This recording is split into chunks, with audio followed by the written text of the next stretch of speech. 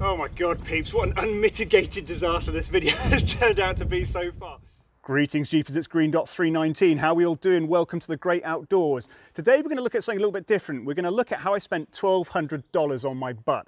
And we're also going to look at how a plate of fish and chips helped me decide to do that as well, okay? If that isn't British enough for you, I don't know what is. We're also going to look at a little bit of driving today because I don't often just show you driving around the Jeep. And as the weather's coming into spring and it's beautiful here, I thought you might just like to see us uh, trying out this uh, Solex powered uh, Jeep and putting it through a bit of a, a long run as we go out um, today. First off, thanks subscribers for joining us today. I really appreciate your support. If you're not subscribed yet and you want to be kept up to date with uh, videos, just click down the left-hand corner there on the click me button. That'll uh, let you know when I release new videos and things like that. It'll also uh, keep you up to date with my posts that I put on YouTube. And if you really want to support the channel and just help me out for a buck a month um, to help create content and keep the Jeep going and things like that, join me on Patreon with my Patreon army.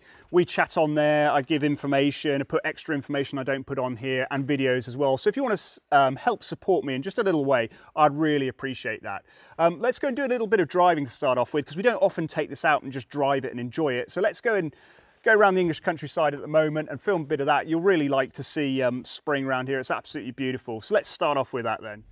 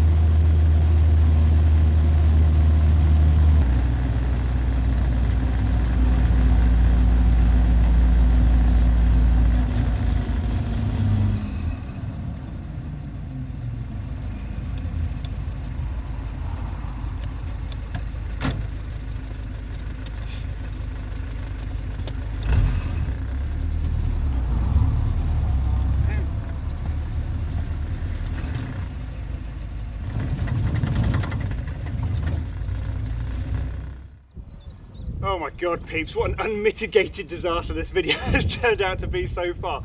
So, I'll try and tidy this up because I filmed all sorts of weird bits here. Right, we drove from the gorge where we started, over the Mendip, great, about 30 miles, lovely, Jeep running absolutely beautifully, running great with the Solex carb, just so you know, the power is fantastic and what have you. Pulled up to a place I thought we'd film this video, okay, about, about wasting 1200 quid on your butt okay? So we get there and we pull into this car park to film this bit and we're all going to do it. To start off with there's some sort of plague of flying beasts going on. I'm not entirely sure what's happened. It's the first warm day. It's only about 20 degrees centigrade like 70 Fahrenheit or something like that. The bugs have all decided today is orgy day or something like that so I'm covered in these flying midge things right to start off with. Then people start appearing and then the happy days bus appears next to me as well in the car park. So I'm trying to film and I just I'm going to give up, I'm going to drive off somewhere else. Try to start the Jeep, starts and then just dies. Well peeps, this video has taken an interesting change. It wasn't going uh, exactly how we were wanting, so I was going to move on a little bit, but I tried to take the Jeep away and it looks like she's got vapor lock because she won't start at all and I can't get any fuel to pump into the bowl. So if we come down to the pump, priming pump here, it should all be filled up and everything like that, but look, I can, usually it would stop, but I can continually fill and it's not going over and into the Venturi or anything like that.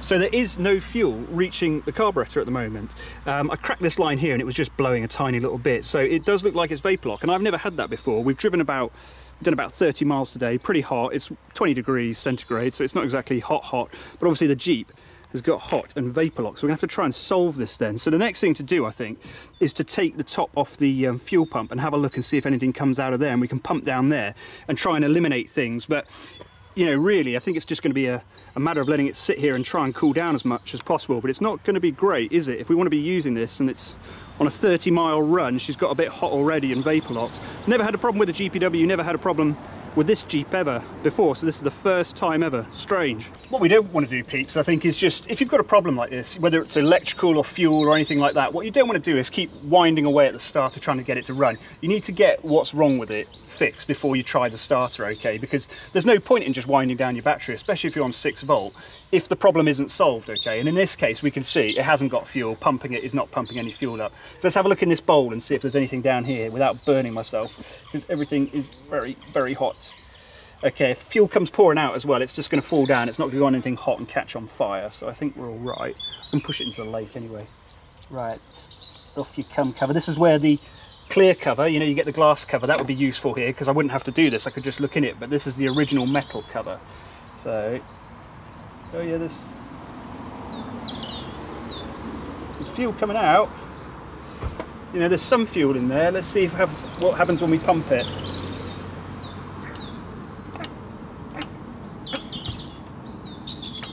Yeah, I mean, she ain't pumping. She ain't pumping.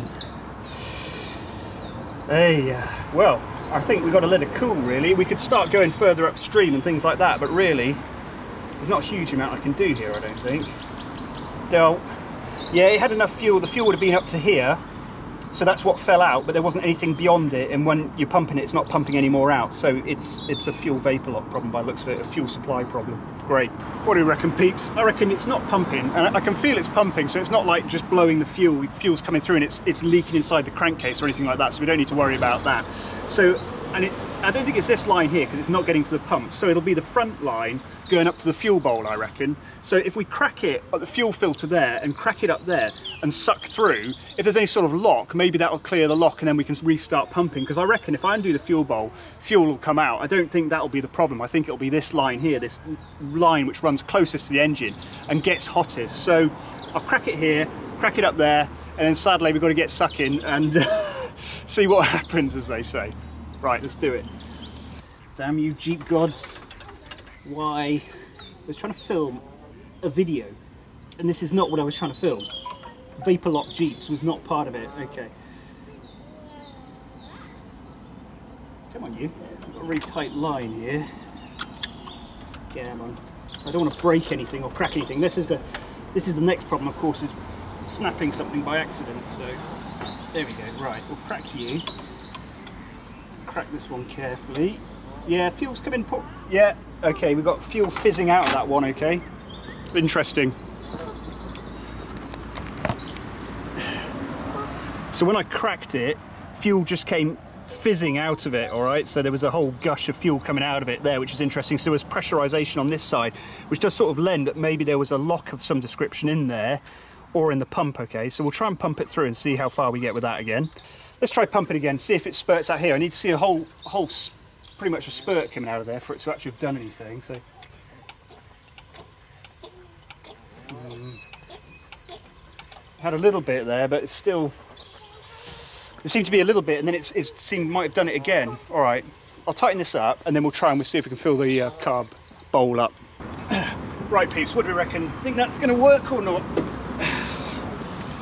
I'm not sure, I'm not holding my breath, all right? So, with the Solex, you've got to give it full accelerator when it's hot. To start off with, it's unlike the WO, when it's really hot, uh, it won't really start. So you give it loads of accelerator, because that's not doing an accelerator pump or anything like that, and that helps it start. So we'll do that, so it'll rev up when it starts, if it starts, all right?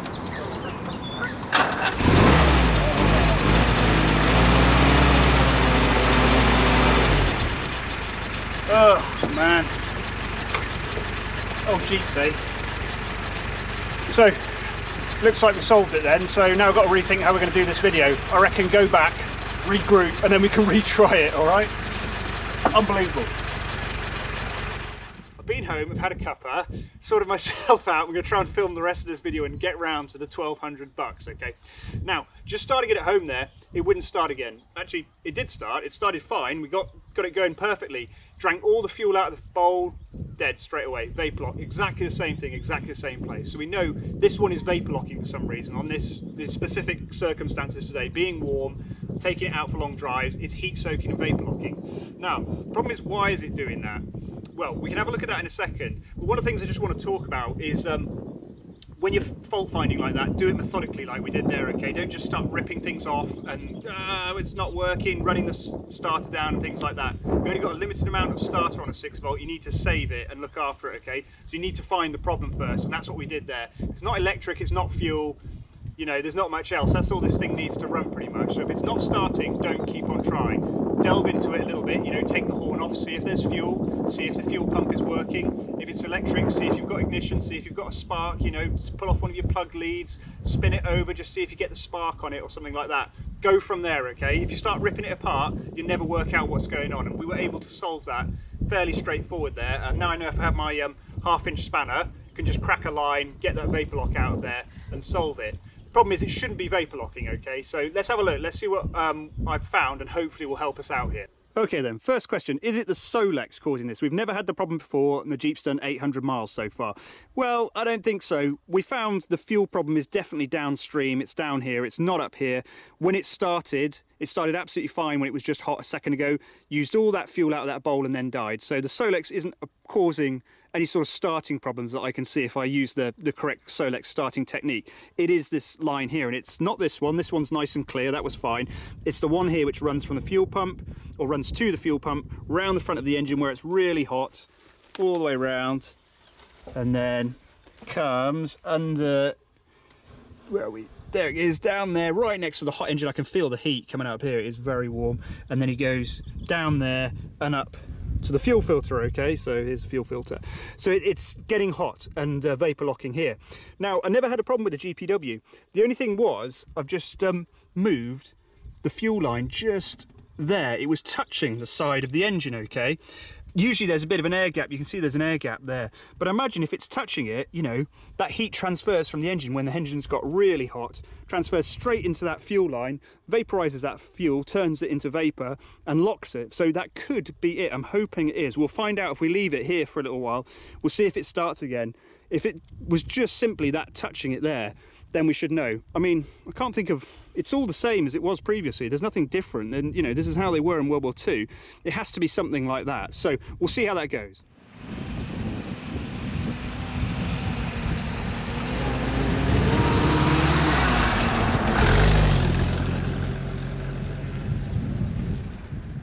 Finally, peeps, five hours later, I can tell you how fish and chips have got anything to do with seat cushions okay. Now, like fish and chips, here we go, you've got different options when it comes to buying fish and chips. Okay, you can buy them from a cheaper place or a nicer place. And the whole idea was we went to a nice place today. We went by the lake where apparently thousands of billions of midges live.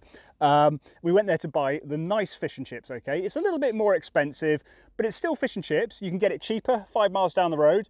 Um, now this is where this analogy dies down, okay, and doesn't work out. This is actually the cheaper fish and chips because the place I went to with the midges, the more expensive place, was closed today.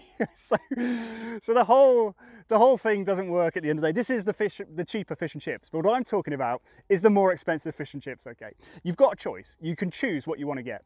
When it comes to these seat cushions, okay, there's the ones made um, by multiple companies you'll know about already, and they make excellent cushions. The um, all the um, canvas on them is very similar, okay? I don't know if they probably use all the same supplier or something like that, or various, you know, close suppliers. The design and construction of them is all very good. If you choose one of the big names, you're not gonna have a problem, I don't think, whatsoever. But there is a difference with them, okay? Because there is another name you can use, which is Paolo in Italy at the Long Olive Drab line, and he makes $1,200 seat cushions. Here they are for the Jeep. Not, you know, $300 or $400 or something like that. $1,200. Now, why would you pick $1,200 uh, seat cushions? I asked on YouTube and I said to people, I said, you know, what should I do? Should I buy the cheaper set like I used on the Ford GPW? Absolutely fantastic seat cushions, perfect, really awesome. Or should I spend the money and do the expensive cushions? And the answer came back as 50-50, yes, no. So that pretty much leaves it up to me, doesn't it? Whether I should uh, do it or not. So I thought about it and I chose to go the more expensive option. Okay, and I went with the with the expensive ones why are these ones so expensive? Why are these 1200 bucks? They look the same pretty much. There is a difference inside them, okay? In World War II photos, when you're looking at Jeeps, you can often see the springs inside the back of them. It's quite obvious when you're looking at Jeeps and we're talking about how it looks and trying to make it look authentic, not just drive and, and be a great vehicle. We want it to look the part, okay? We want it, you know, the paint's got to be that flat olive drab, the markings have got to be right, the, all the details have got to be good as well. Seat cushions have been sort of ignored because no one's really doing it apart from Paolo, putting the springs inside them. When you look at the photos, you can see the springs are pretty obvious. When they're well used and dirty, these ones are new, no one's really sat in this seat or that seat. You can just possibly see from there a little bit of darkness appearing here where I'm sitting in this seat. When they're being used, you can start to see that uh, curve of the springs inside it, and it's really obvious. And it's a really big feature of them, I think, which is missing on a lot of restorations. So I thought I would go for it and I would, if I didn't go for it, if I didn't choose the expensive chips or the expensive seats, I would regret it in the long run, okay? There's a marginal, there is a, there's a difference in cost, but at the end of the day, all you'll think about, you won't think about the cost in the future, you'll think about the fact that you're not sitting on the spring seats with the horse hair inside them, built to exact specifications. These ones actually use original um, zips on them. Paolo got hold of original zips, the same ones that are fitted to the rifle rack on the front here, um, would be with the windscreen. Original zips, original construction, horsehair and spring inside them. So if I didn't go for that, I think I would I would always regret it, especially when I'm going to a restoration of this sort of magnitude here. I would always regret not uh, going for it. So I did. I spent the money and I bought the seat cushions and they're on here now. Now, one of the things which um, has uh, I've noticed about it just uh, here is my five hour old fish and chips. You know, you talk about soggy Brit fish and chips. This is about, look at this. I think the bottom's actually falling out of it now. I'm going to eat it. Don't let that put you off your food either. Um, one of the things which has come out of this, which I've noticed, which is why we did a bit of driving, was the fact that these are really, really comfortable actually. I'm going to say these are some of the more comfortable seats I've ever sat on. Now that, that sounds a bit funny, doesn't it? You'd be like, what is he talking about? That's, that can't be true.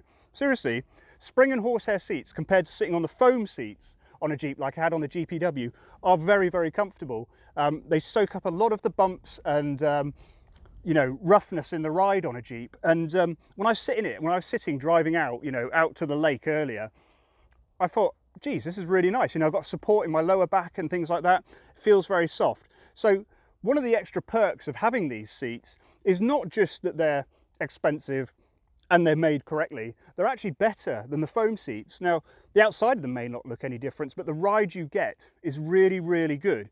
Um, and it feels, you know, authentic. That's what we're going for, is authentic ride. Now you can sit on your spring and horsehair seats and get your authentic ride. You know what, I think after five hours, this fish and chips is actually better than it was before. And this brings me to the fact that sometimes when things don't go right, you can actually have a better time or learn more than if things all went according to plan, okay?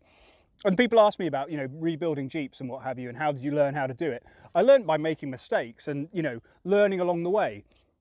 Same sort of thing with the vapor lock there. If we hadn't seen that, we wouldn't know how to solve it.